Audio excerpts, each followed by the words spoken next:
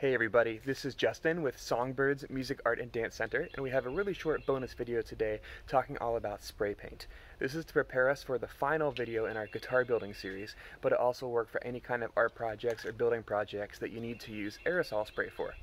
I'm out here in the backyard, and I'm here because you never want to spray paint anything inside your home. It's just way too toxic. So back here in this tree, and I have a piece of scrap wood that I'm not using for anything out here hung, hanging on a chain so that no um, you know particles from the ground or my fingers have to touch it while I'm spraying. That way I get a really clean workpiece and that there's not going to be any marks or dust imprinted in the surface. I'm using scrap wood because I just want to show you a demonstration. I highly encourage that you practice on something like this so that you don't have your first attempt at spray painting being on your actual workpiece that you care about. Now this is just a high gloss white spray paint found at Home Depot that we're using, very common, Rust-Oleum. Um, make sure you follow the manufacturer's instructions on anything that you're using.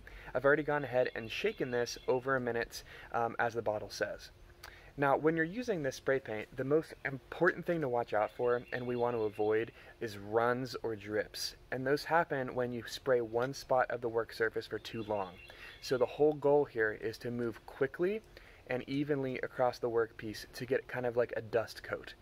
Yes, I know that does cause a lot of overspray and it does seem like you're kind of wasting paint, but it's worth it because that way you don't have to stop what you're doing, sand down any runs or drips, and then paint over again. That is like a, just a recipe for frustration.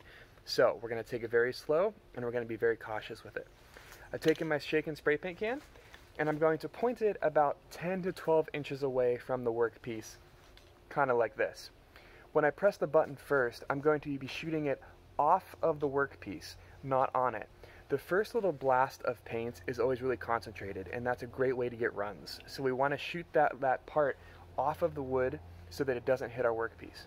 Okay, so I'm going to put it here, and then I'm going to slowly pass in front of the piece, going kind of in a horizontal fashion, like a little horizontal zigzag, until I get to the very ends, and then I'm going to finish my pass well off of the workpiece before detaching or depressing the button. Okay, so let's do that. Here we go. I'm to start off the workpiece and do my little passes like so.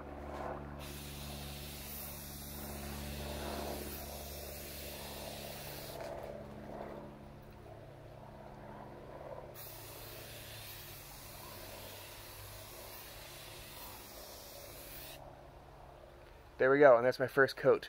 You notice how it is kind of blotchy because we only had the first one in and that primer coat tends to soak into your surface, especially if it is wood, but that is okay, we will do it again.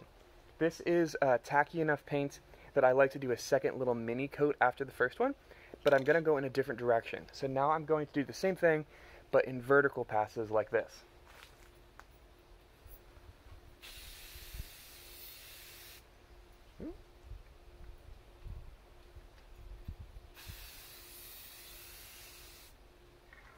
Spinning there a lot. I should uh, use two chains next time. But anyway, so I have two small passes there, one horizontal, one vertical, so that we don't have too much overlap or too many waves and ripples starting in our paint. Now this is done. I'm going to let this wait at least an hour before recoating, and I'm not going to do more than three coats per day.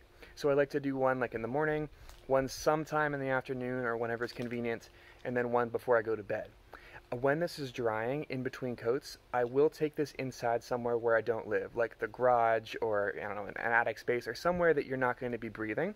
This prevents it from getting dust and bugs on it. Um, if you do get dust and particles stuck in the paint, you do have to sand it off. So we want to try to uh, contain this.